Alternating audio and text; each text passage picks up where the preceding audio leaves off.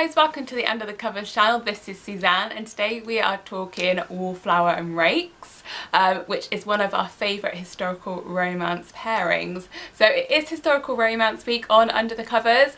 Uh, we have many fantastic author interviews which um, you need to check out. We also have two historical romance bundles that we're dying to give away and today is the last day to enter the giveaway. So please, please, please check out below, see how you can enter because um, you need to do it pretty damn quick to be in with a chance of winning. So today's video we are um, going to give you some recommendations of our favourite wallflower and rake pairings. So myself, Francesca and Annie will each go some of our through some of our favourites. So I'm going to start us off and of course I'm going to be starting with one of Under the Covers absolute favourite all-time authors and that is Lisa Kleypas. So the book, I'm sure you won't be surprised to see, is Devil in Winter by Lisa Kleypas, which is the third in her Wallflower series. I would say this series is best read in order. However, I do know many people who have read Devil in Winter as the first book in this series and then went back to the first book. So it's kind of up to you um, kind of what order you would want to read this if you haven't read it already. So a bit about Devil in Winter, which is one of my favourite um, romances. Um, it's got Sebastian, who is our dissolute rake, and then Evie, who is our wallflower. So although Evie is quite attractive, she is kind of clumsy and she stutters. Um, she's lived under the thumb of quite a, an abusive family, so she lacks confidence as well. And then we have Sebastian, who I've, who I've said is a rake. Um, he's done some very, very bad things in the previous books. So when, if you've read, this is why it's kind of good to read them in order because you'll have the full history of kind of what Sebastian's done to Evie's circle of friends before you get to this book. But needless to say, he is a selfish, he's kind of selfish. Um, he's, he's obviously a rake, he's very debauched, um, he's very kind of disillusioned with the world. Um, he's got an intelligent and restless mind which never seems to get much use. Um, he's used to he's used to using people and being used in return which is exactly how the relationship between him and Evie starts so they both kind of need each other for something Evie needs to escape and, and I guess Sebastian does as well um, so they agree to run to Gretna Green and get married um, so they um, Evie can have a bit of protection and Sebastian needs some money. And then the kind of relationship blossoms from there. Um, it's a fantastic, fantastic book as you see them come kind of closer together even though they are such different characters um, they both kind of fulfill something within the other person. Um, it's a really really great romance. I highly recommend you read it but I kind of recommend that you read it within the series. So start with book one Secrets of a Summer Night and then work your way to Devil in Winter. It is wow worth it. So moving on to my second book and that is The Many Sins of Lord Cameron by Jennifer Ashley which I think is the third in the Mackenzie series. It might be the fourth, but I think it's the third. Um, and it features Lord Cameron, who is a, is very much a ladies man and Ainsley who is a widow.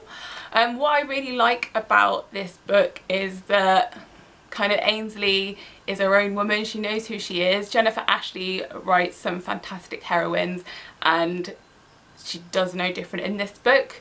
Um, and then we have Lord Cameron, of course, who is kind of like a really, he's a Scottish hero and he's kind of like this really manly man. He likes horses, he likes women, and he likes drink.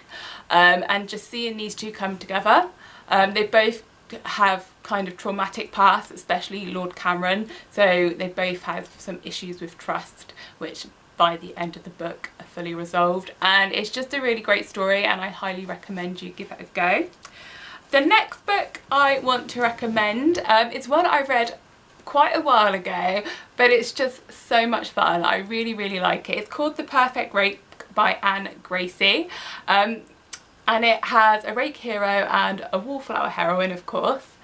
Um, but it's really light-hearted and fun so kind of the sins the sins of Lord Cameron and, and Devil in Winter they're it's they're quite serious, a bit heavier books, whereas the Perfect Rake is just a lot of fun. It's quite light-hearted. Um, and what I really liked about this, so we have our heroine Prudence, um, who has some younger sisters who are both very beautiful and she is considered the plain one. And then we have our hero who I think is called, is it Gabriel or Gideon? I think it's Gideon. So we have Gideon, our hero, who is a renowned rake. Um, and what I really loved about this story is that he considers Prue, the beautiful one in the family, and he sees her younger, more conventionally beautiful sisters as kind of plain, and, he kind of feels sorry for her that she kind of has to look after her poor sisters. Um, and it was just it was just really sweet. I really really enjoyed this book. So if you want something more light-hearted fun um, definitely made me laugh then The Perfect Rake by Anne Gracie is definitely the one to read. And then the next book which I have really really enjoyed it love is Nine Rules to Break When Romancing a Rake, which is a bit of a mouthful, um, but it's by Sarah MacLean and it's her first in her Love, in, Love by Numbers series and I love this book. It is so fantastic. So we have Callie, our heroine, who is very used to being a wallflower. She's a bit older um, than heroines that you tend to find in historical romance, but she's kind of sick of becoming being a wallflower and she has a list of things that she wants to do um, and this list of things are traditionally things that men would do. So things like riding astride going to a gentleman's club going to a pub um, and then the last one um, is kissing a man. Um, so she does the first she does kissing a man first and the guy that she chooses is a renowned rake called Gabriel I'm sorry, I've completely forgotten. I think it's Gabriel. Um, and she's and it's um she's been kind of crushing on him for a while. Um, and in the end, he helps her try and fulfill her list and of course they fall in love along the way. Um, it's a really great read, it's really funny, really sweet and I just really really love the heroine in this. Callie is fantastic, I love how she kind of goes for what she wants um, in this book despite her kind of despite it kind of going against the grain, going against what society expects, she kind of goes for it anyway. Um, so those are my recommendations. Um, I hope you like them and we'll move on to the next. The next book that I want to talk about, it's actually a whole series that I think does the rakes and wallflowers for the most part really well. Uh, most of the books in this series have that sort of theme and especially when it comes to rakes, these books are a little bit on the darker side of a storyline and that is the House of Rohan series by Anne Stuart. This is one of my favorite historical romance series and that is because of that dark little bit of danger element that it has and this is book one and while it's not my absolute favorite I think you definitely have to read them in order. My favorite is actually the book that goes um, forward in time. I think it's book three, and it's the son of this couple. But the House of Rohan is basically about mainly a secret society of aristocrats that go to this club, in a way, to indulge in all their carnal fantasies. So book one is about Francis Rohan and like I said he's the leader of this secret society and the heroine of the story her family is actually quite down on their luck financially and the sisters get a lead that their mother is at the Rohan household. So Eleanor goes to look for her mother and she finds a lot of things she was not expecting because she stumbles across this rather crazy display in her eyes of sexual desire. And while Francis has said that's pretty much all he cares about in life is satisfying those carnal desires, he finds himself quite attractive to Eleanor who wants nothing to do with it.